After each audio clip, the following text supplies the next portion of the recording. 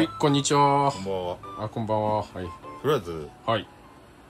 今日も、はい。ちょっとさす続きで、はい。ちょっと申し訳ないんですけど、はい。今日も、YSS のサス。大人気っすね。大人気。もう別にさ、俺 YSS ばっかりやってるわけじゃないんだけど、オーリンズとか、昭和とかもはいやってるんだけど、とりあえず、やっぱこの間 YSS の動画を出してから、すごい YSS の問い合わせが多くて、はいやっぱり今さ、結構ほら、安めのサスでもあるじゃん。まあそうっすね。オーリンズやら、ナイトロンとかと比よりべたら。はやっぱりちょっと安いから街乗りの人たちからはちょっとこう人気がはい。あるので、あのただやっぱりオーバーホールしたいっていう人もいるんだけど、はい。あのなんかね部品が入らないとかうん。なんか結構いろいろなんかこう聞くんだよね、はい、はでもねうちは入りますい。はい。YSS が。うん YSS からね注文入れればはい。入りますなんかね前のコメントでもなんか部品が出ないって言われたっていう人がいたんだけど、はい。その車種で聞いたらちゃんと部品も入るあ、なるほど。から多分個人の人には売ら売らないというかまあ一応多分メーカー的にもバラしてほしくないのかもからねしれないですね。だけど一応うちは入るのではい。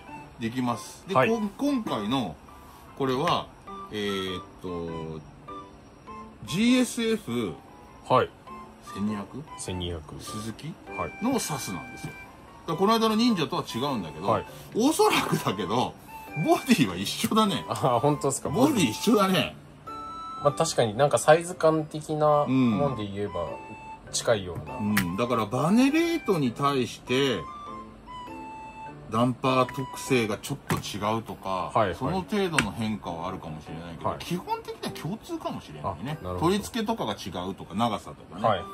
が違うとかそういうことかもしれないはい。まあでもとりあえずあの今回オーバーホールをしていくにあたってえっとまあ動画撮ってないやつもあるんだけど、はい今回これをなぜ撮ろうかと思ったかっていうとはい。ちょっとねリバウンドがおかしかったんですよリバウンドがおかしい。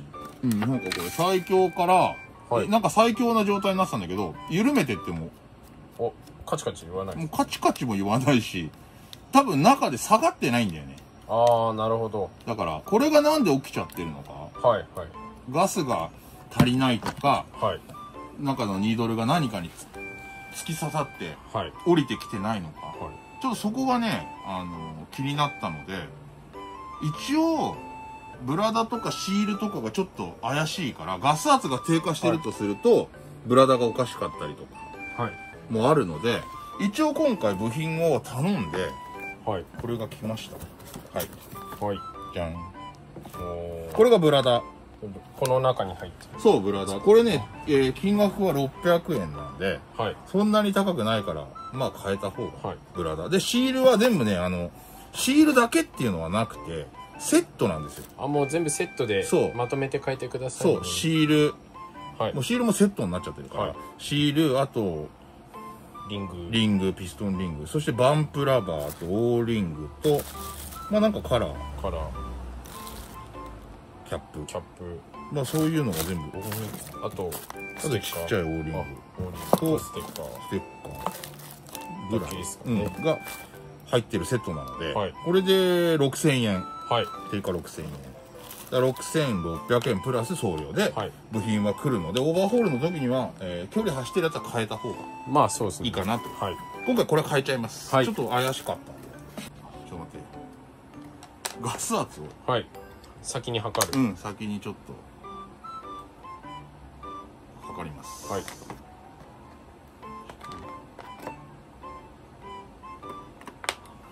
これがね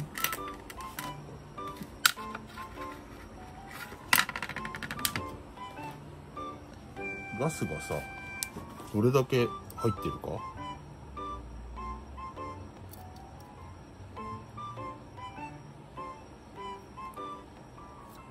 入ってない。うーん。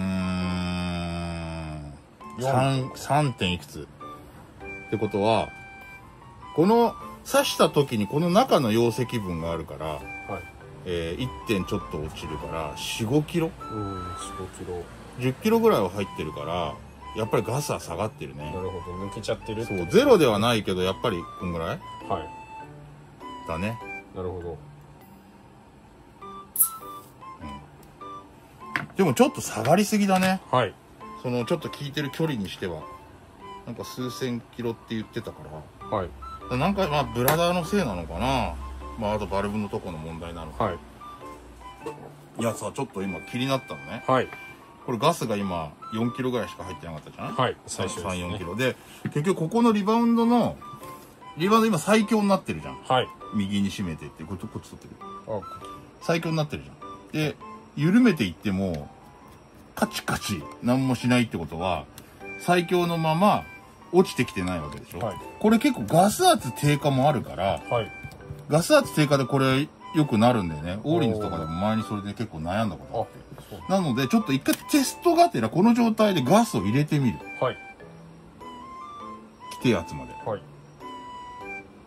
今これでガスが今ゼロね。抜いちゃったから。ゼロ。はいゼロ。それで。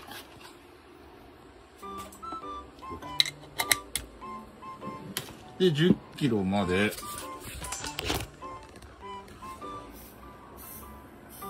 てる？はい映ったう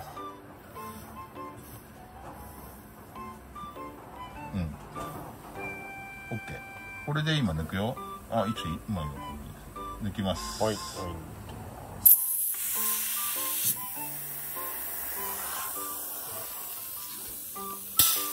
オッケーで今この中に112キロはい。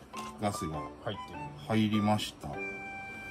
そしてこのリバウンドが今最強なのをこれね。あれ？お聞く聞くもうカチカチいますね。音入ってる？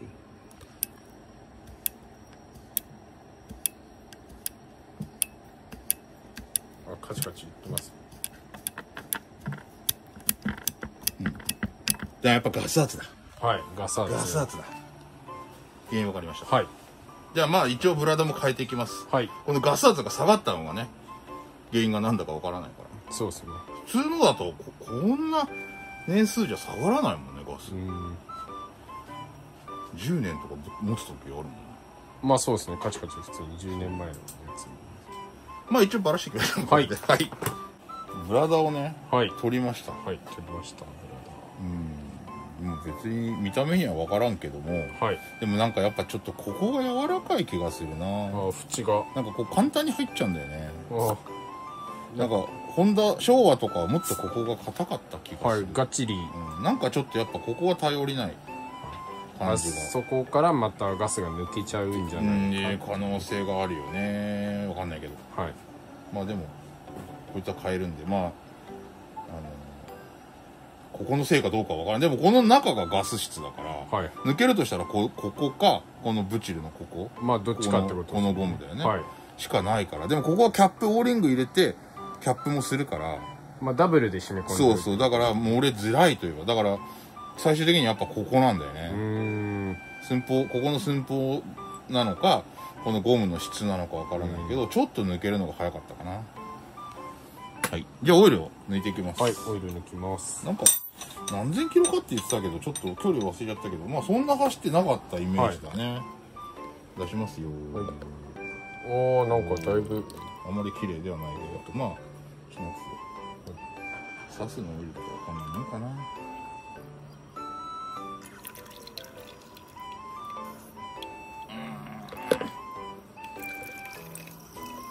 エアー噛んでる感じはしないね。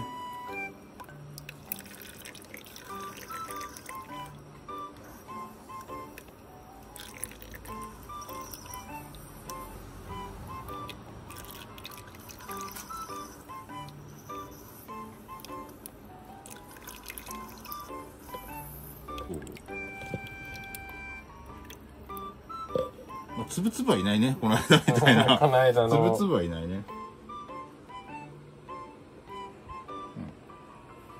うん、でもやっぱちょっとスラッジ的な汚れが。あそうですね、うん。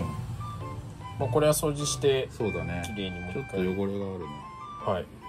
異物はないけどちょっと気になる汚れが。はい。ちょっとやっぱオイルは変えた方がいいねこれ。そうですね。じゃあちょっとバラしていきます。はいはい。はい。バラシ。今ロッドバラしました全部、はい。つがメインってことですそう。でこれを取ってっちゃいます。はい。8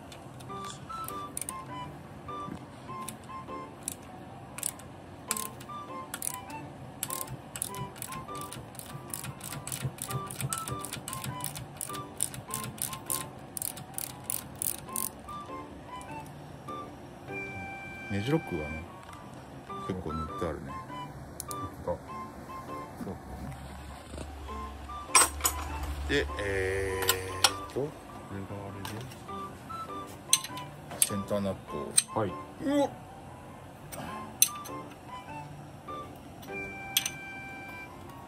これはじゃあ変えちゃおう。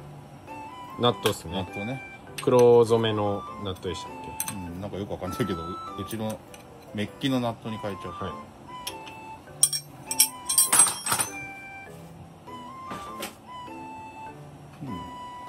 かロックタイとかすげえ塗ってたいな。とりあえずはえー、っと。これね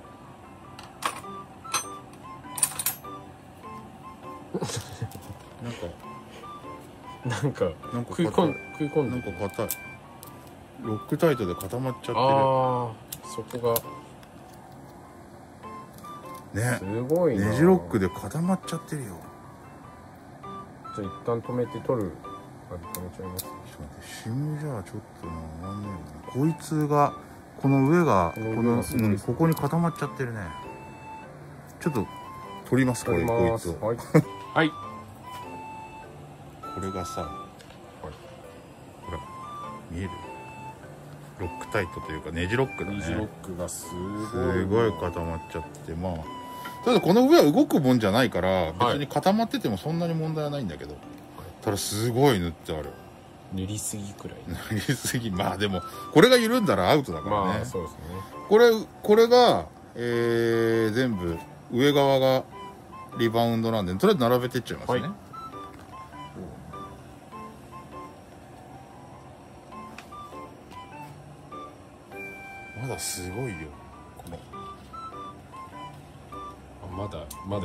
そうだそうだ。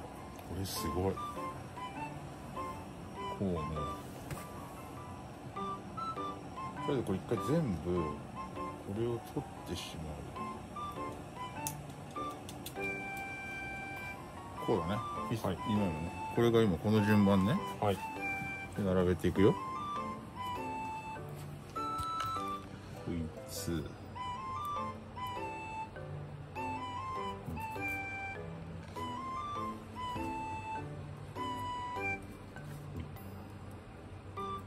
ちゃんと入ってんだよ SIM がね。そうですね。そう。結構多いですね。うん。3枚くらいしか入ってない。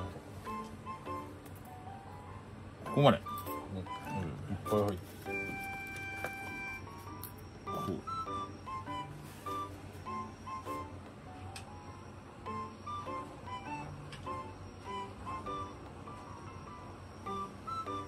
う。でピストン。いいっすね取って。はい。でそれがコンプそうポンプ。ポンプね。これなんか言う？いないいない。うん。ポンプが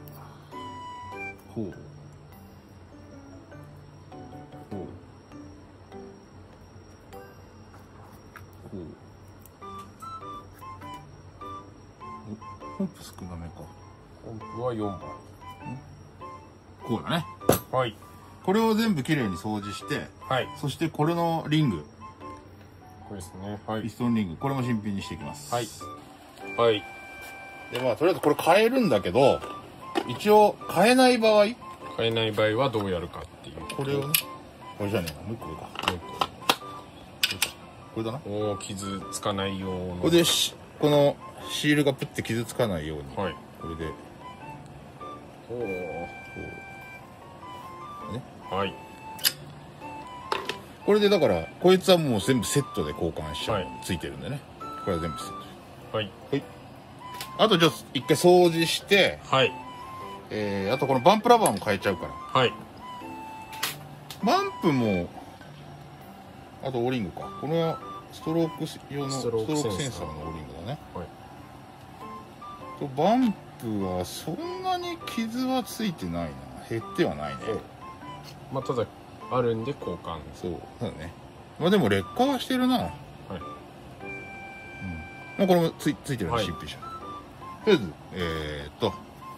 あと掃除して組んでいきます。はい。はい。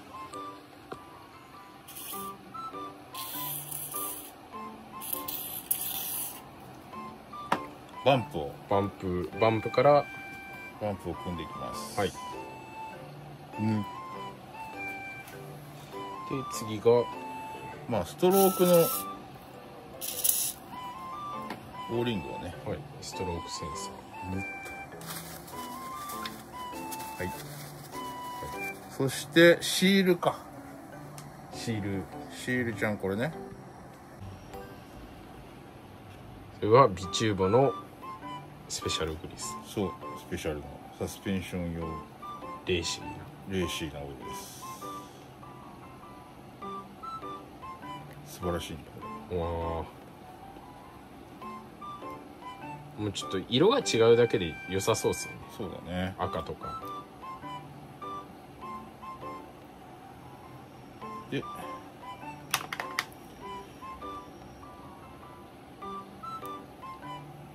軽く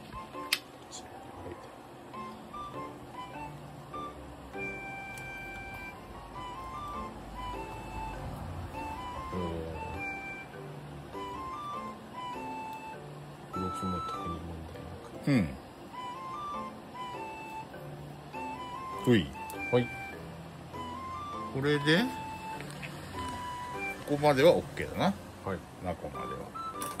そして、えーコンプ側のコンプ側のシムをはい。組んでいきましょう。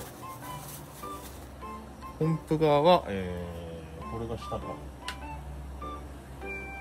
れが下。オイルをちょっと塗って。うん。これは組むオイルだね。はい組み付け用オイ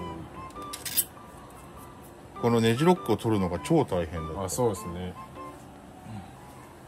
めっちゃ硬いネジロック塗ったからね、まあ、でもメーカーもあんまバラすって思ってないとかあるんですよね。意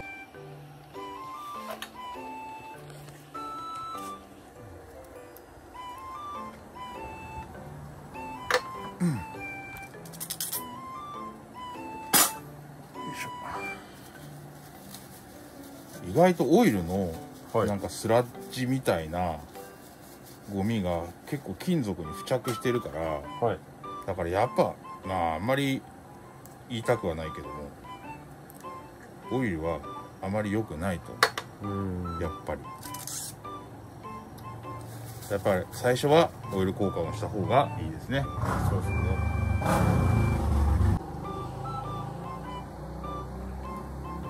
はい。これこれをねはいあそれも交換。これがリング。あこれがリング。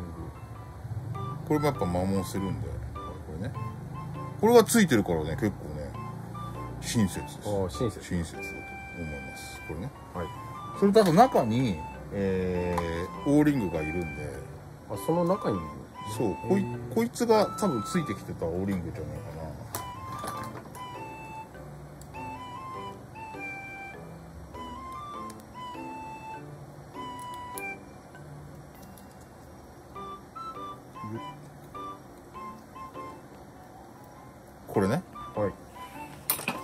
多分これ。ああ一緒っすね。そう。一応これも変えます。はい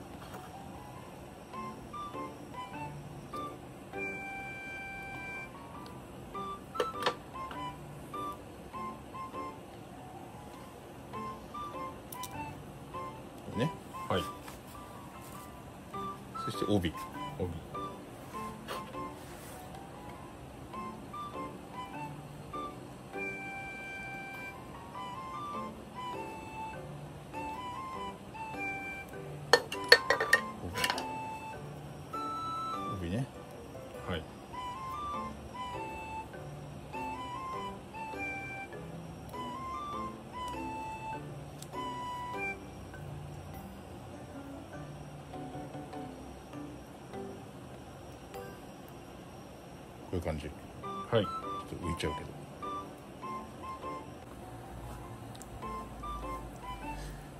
これちょっと入れるときに入れる時 入れる時にプルってやんなきゃいけないんでこいつはね。じゃあピストンリングみたいな感じ。そうそう。ちょっと後でエンジン後でちょっと、はい。で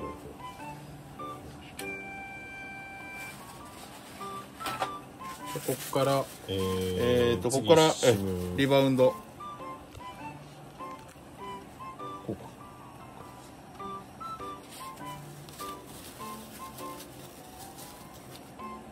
いしょ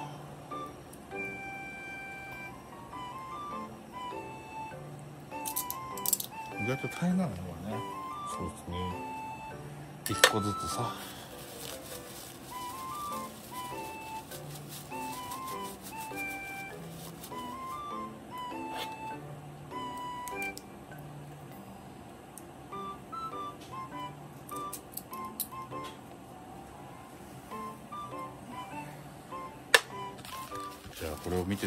なんで早送りしますか？はい。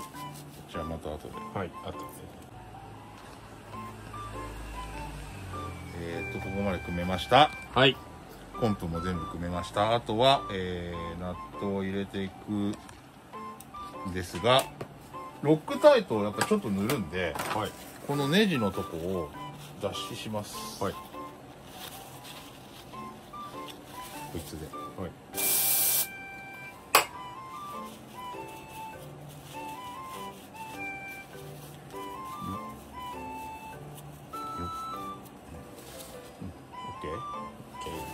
でットは、えーこれに交換します、前に紹介したなんだっけクロームメッキかなんかのはい。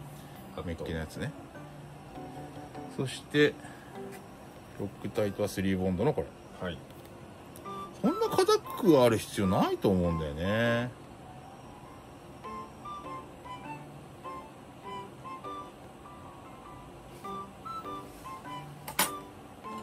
もうちょっとでいいかなはい。ちょちょちょっとだけですね、うん。そんなつけすぎず。そう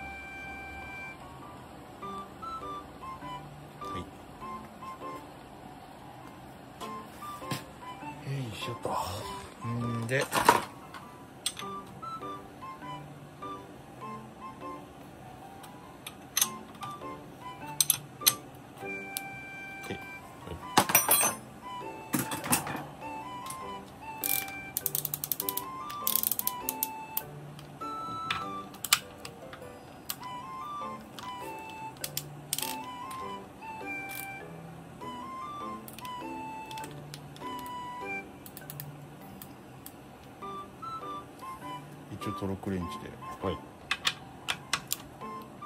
うしたは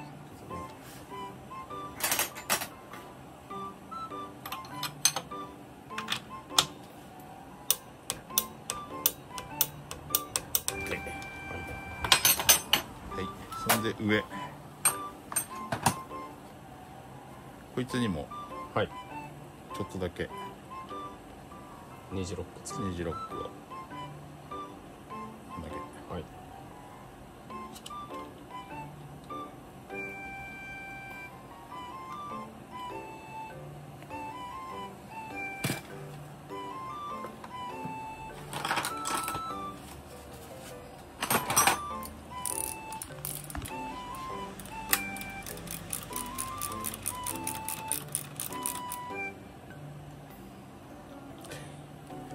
こん。なもん。かな、はい。えー忘れ物ないね。それ問題ですよたまにさこれで最後にバンプラバー入れてねとかさ あるんだよたまに。もう一回全バラそうそうそうそうそう。よしこれであとは組んでエア抜きしていきます。はい。これで OK だね。はい。はい。ブラザーちゃん新品。はい。よいしょ。こいつでガスが漏れなくなってくれればいいけどそうですね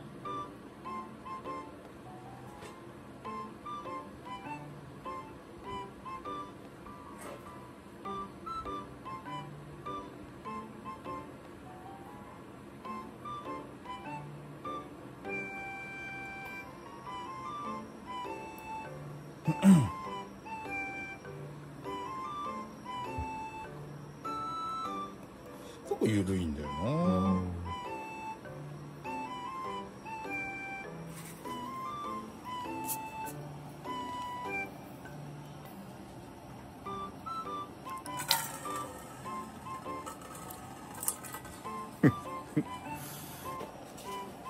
これがねはい。これまた。大変そうな感じそうなんですよ。このリングが。こんな感じ？がおお。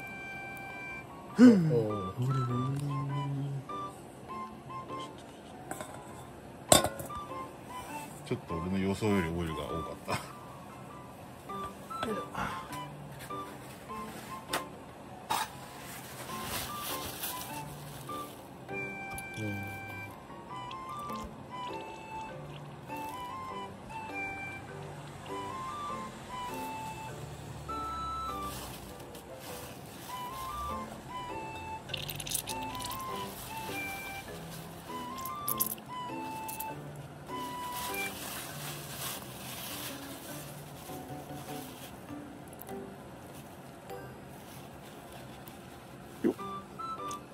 よし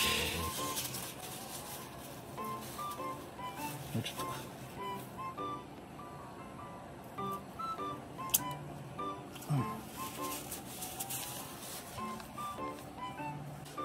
はい。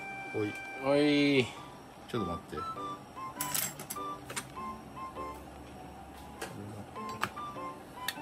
なんかねはい。順番がねはい。ちょいミスがありまして。まあいろいろちょっと。はいこの子入れてなくて。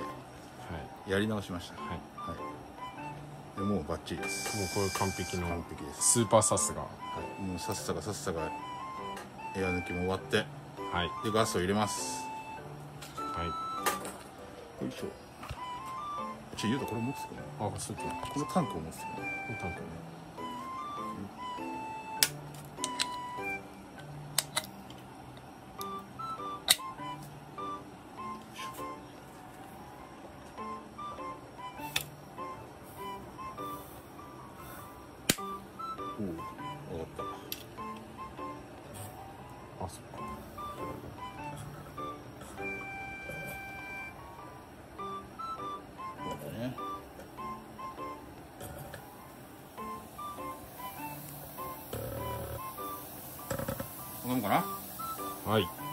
10これねゲージがちょっと低く出ちゃうから一応これで1 2キロ。はい。1 0キロ。これで大体1 0キロぐらい。はい。一時側で見て1 0キロ。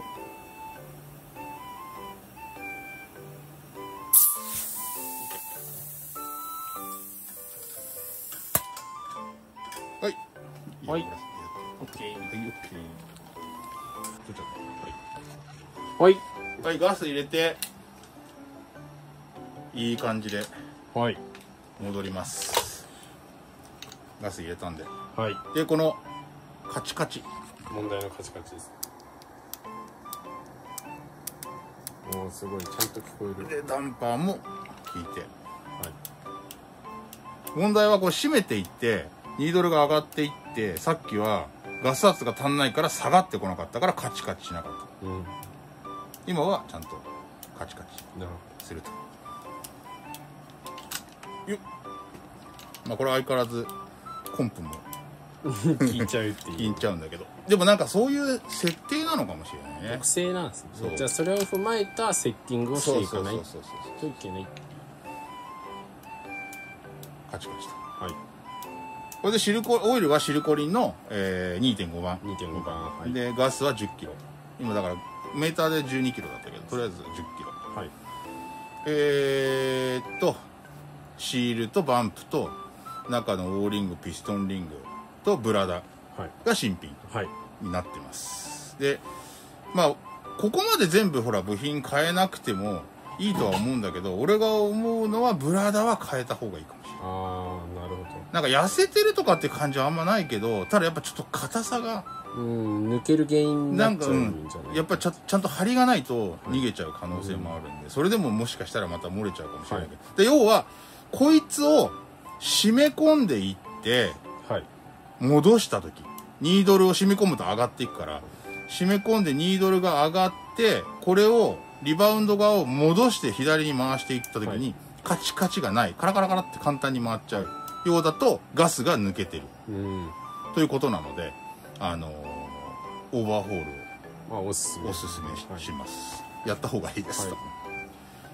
まあそれでで、まあ、やっぱ中のオイルは最初の初期のオイルはあまり良くないんでやっぱはい。今ばらした感じも汚れがちょっとあの普通の汚れじゃないねやっぱ。うーんまあちょっと汚い。